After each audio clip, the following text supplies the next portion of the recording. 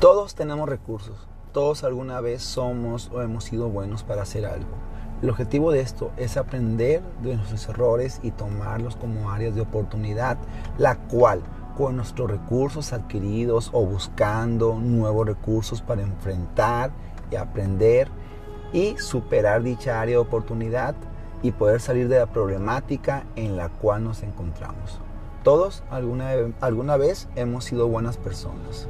Alguna vez hemos sido dadivosos, alguna vez hemos dado amor.